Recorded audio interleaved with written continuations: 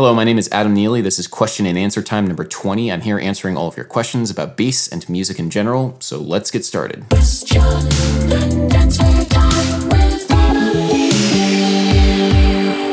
Thanks, Adam. Like this just as much as the theory. More questions. One, to what degree do various bandmates or you get wasted on the gig? I know a guy whose performance goes through the roof with only a small hit to his quality of playing, a good trade off. I really don't drink at these sorts of wedding and event gigs for two reasons. The first reason is it's fairly unprofessional to be doing that in that sort of context, to be drinking with the guests. But more importantly, number two is that at the end of the night, you're exhausted, and the last thing you want to have been doing is drinking the entire night and then have to pack up all of your gear and then drive home several hours. Especially if you're doing that several times within a weekend, it's just unbelievably exhausting, so nobody in the band really drinks. For other kinds of gigs, yeah, maybe I'll drink a little bit, but honestly, I kind of like being in a sound frame of mind when I'm playing music. Was this a 10 hour wedding? Well, no, it wasn't a 10 hour wedding, but it was definitely an all day sort of affair. I mean, the wedding itself with the ceremony and the prelude for the ceremony, and then the cocktail hour, and then the reception might have, like, I think it was about six, six and a half hours total for everything. But then the day itself is a really long one because we have to travel like the hour and a half outside of New York City. I have to travel to the pickup point to grab everybody. I have to pick up the Zipcar before and down, which takes an hour, back to the city and the drive. So it's a long, long day. I love the synth bass on I Wanna Dance with Somebody. What filter are you using for that reverse wah slash moog effect? For all my synth type tones on these gigs, I have a Boss OC2, just octave pedal down,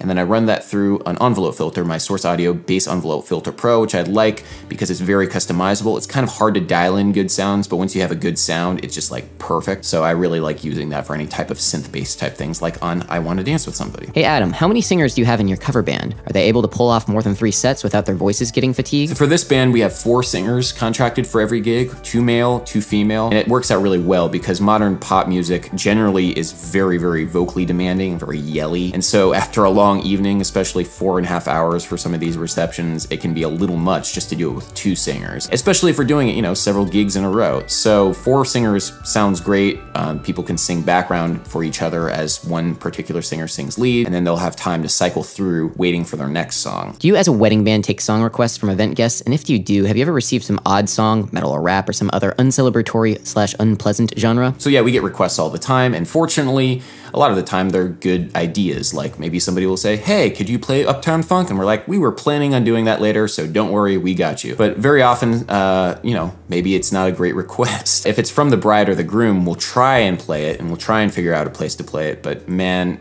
most of the time we just say we don't know it, even if we do, because you know we want to make sure that people are having a good time and having a big party the entire night through. And there's nothing that kills the vibe more than a bad request at the wrong time. That was pretty cool, but I feel like the drums were a bit much for basic vaporwave, which is supposed to be chill and hypnotic. Yeah, so that track definitely probably couldn't be considered vaporwave, now could it? Because it was definitely not hypnagogic and chill out music by any stretch of the definition, and that's probably one of the main sort of key factors in understanding what vaporwave is, getting that sort of vibe. And that track definitely did not have that vibe, but I still sort of approached it in a similar sort of manner, so I called it vaporwave. Some people called it, uh, what do they call it? Prog wave or vapor prog. Yeah, sure, whatever. As soon as you spoke about the genre and claimed all those articles are good representations of the genre, I wish I could flag all your channel. Go for it. Not really planning to do it, was more of an empty threat. But seriously, this video sucked because you treated the genre as a fucking internet meme and really didn't do much of music theory at all. I definitely knew that this comment was coming and I savored it. Oh man, did I savor it. The vaporwave purist. Oh my god, it's hilarious. Already the subculture has its elites. Fortunately, I think many people in the community actually enjoyed it. Uh, it was posted to the Vaporwave Reddit, and there were some comments, and a lot of people said, like, oh, by the way, you know, you should really check out the modern Vaporwave stuff. The stuff that you focused on was like much older and not doesn't really represent the genre. And that track that you did wasn't really Vaporwave, but you know, it's a good analysis. And I was like, thanks guys, that's actually really validating. But man, this was hilarious getting this particular comment. So thank you. Awesome. Hey Adam, have you seen Evan Marien's stuff? I think you would really like it. For your next Q&A, do you think it's necessary to go to music school to become a great musician? So I do know Evan Marion. We went to school together. He's a cool guy. I'm a big fan of his. In terms of going to music school, is it necessary to become a good musician? Well, no, but it's certainly made easier. Now, the flip side of that is, does going to music school make you a good musician? Definitely not. Oh my god, no.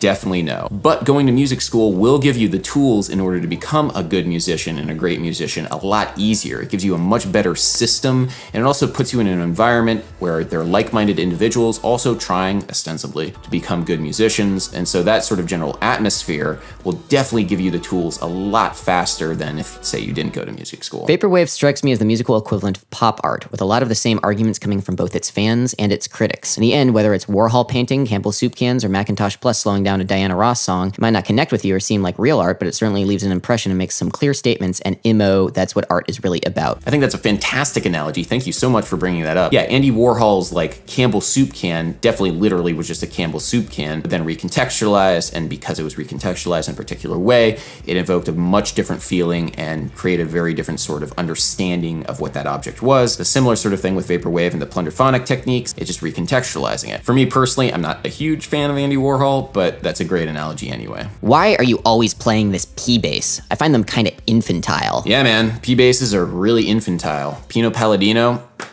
most infantile bass player there is. One could suggest this is regurgitated bovine excrement. Also, it could be construed as Weasley Newton vapor, appealing to the cult of primeval anti intellectualism. One could suggest that, couldn't one? Rather long question from a guy who really doesn't know a lot about theory. So, in the old days, I don't know when, but a long time ago, when people heard chords with thirds, they sounded very jumbled and confusing, right? But now humans have developed to hear the third and seventh of a chord rather clearly without it sounding bunched up. Will this pattern continue with more notes on the scale? And if it does, what scale degree do you think will sound best next? So, about five or six centuries ago, the interval of a third, like from C to E, was considered dissonant. It was considered bad. It didn't sound good, which is really strange because if you played C and E, you'll notice, hey, it sounds great. It's like one of the most consonant intervals there are. And basically, the progression of Western music since then has been adding more and more different complex intervals to it third, the seventh, the ninth, thirteenth, all these sort of chromatic alterations to the scale to the point where our ears could become used to it all. So it was a progression of consonants, so more and more things started sounding good to our ears. And that was a very exciting time at the turn of the 20th century for composers because they were like, oh my god, I can start using all this other stuff and it's very exciting.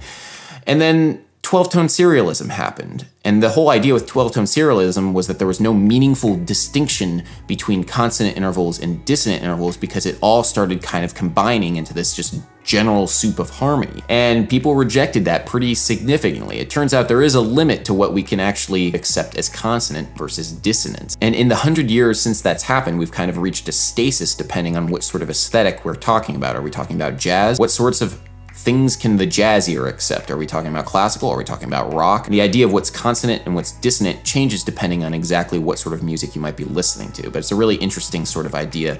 Check out the Wikipedia article on consonance and dissonance. Every channel is turning to Patreon. I understand it's tough to make ends meet, but we've lost learning and sharing for educational purposes and gained yet another sales pitch selling the stuff we used to just talk freely about.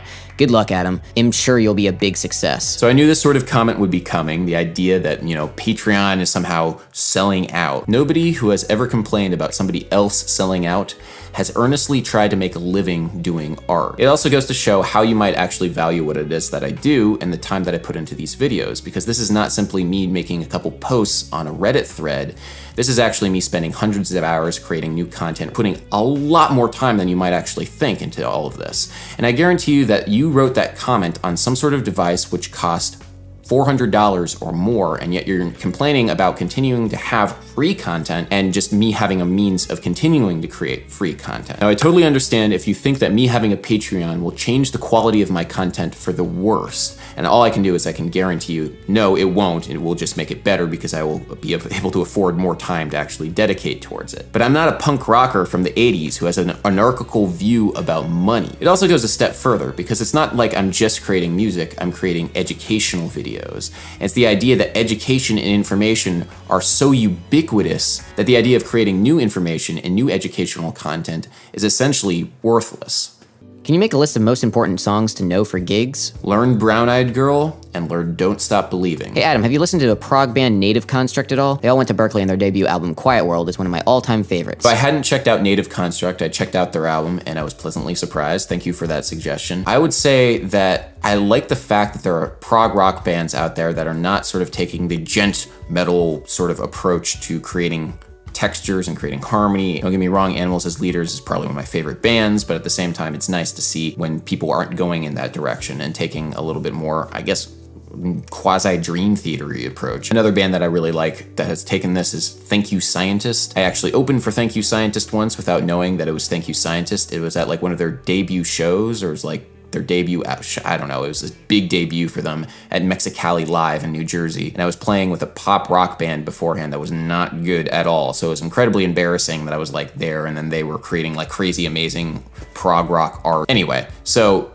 that's really cool. The other thing that I liked about the fact is that the bass was mixed very high and you could really hear the bass and it was nice and full and fat on that album. You don't really hear the bass that often in those contexts and that was awesome. So cool. Thank you for the suggestion. Hey Adam, do you think that children who are exposed to music, classical music, or high information music become more intelligent? I definitely reject that idea. The idea that if you play high information music or classical music, it will make your kid smarter. So the kind of person that will just play classical music to their kid and expect them to get smarter or whatever is not going to be engaged with that kid in terms of getting them to understand the nuances or like at least just getting them to engage in the music that they're listening to. Like if the kid is young, just trying to get them to vocalize along with the music, vocalize and like bop along and generally educate them about the music. I can think, I can definitely say that educating the kid in some sort of way about whatever music you're playing to them. It doesn't have to be classical music, it could be rap. Who, who cares? Like, as long as the kid is engaged with it, certain neural pathways will definitely become more activated if you're trying to get them engaged. But if it's just this passive background music, then it's just noise. Anyway, that was question and answer time number 20 with Adam Neely. Thank you so much for watching. Please